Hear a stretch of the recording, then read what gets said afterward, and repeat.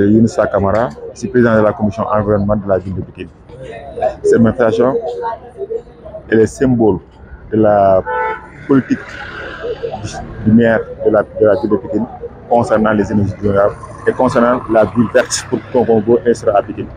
La raison pour laquelle, du moins point de vue symbolique, on a voulu installer, planter des arbres dans la rue 54 au niveau de la ville de Pékin Nord. Pourquoi Nous sommes rappelés que le programme était au début avec les partenaires euh, espagnols, ont débuté avec euh, la commune de Pékin Nord.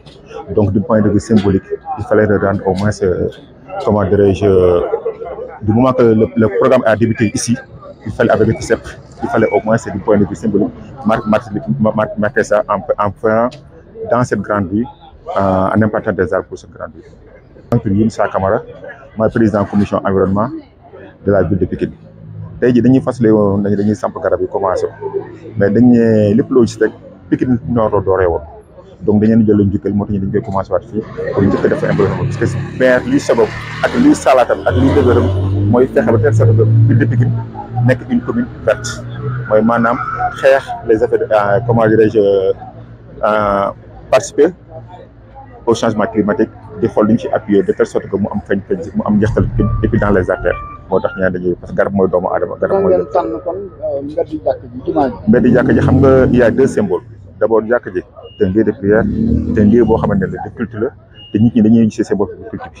Beneen bi soo ko xoolee Pikine Nord moom la mbir yi njëkk a doore ci wàllu liggéey bi nga xam ne la kii vert te moo tax ñu symbole et ces trois casquettes m'offrent en fait cette opportunité de parler de ce projet qui s'inscrit dans le grand projet du plan climat de la ville de Pikine Et dans ce plan climat de la ville de Pékin, il y a un programme important qui s'appelle PARC, un programme d'appui au reboisement communautaire.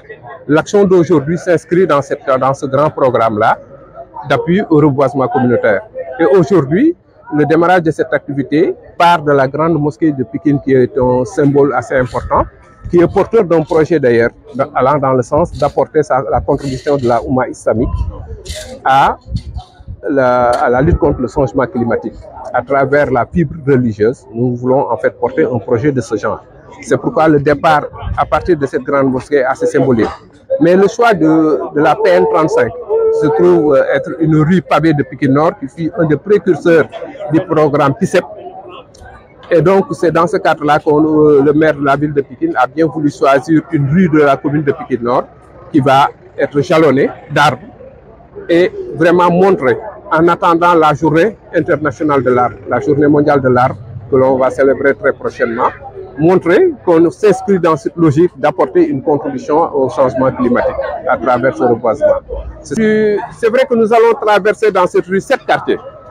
Et c'est un message fort que nous voulons lancer aux populations de ce quartier-là pour vraiment prendre en charge la question de la gestion des arbres dans leur environnement immédiat.